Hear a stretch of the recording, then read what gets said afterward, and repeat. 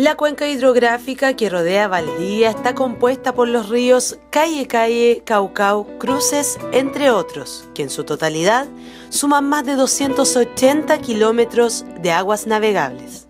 Estos son aprovechados a cabalidad por los bogadores, quienes entrenan en los diversos clubes existentes en la ciudad.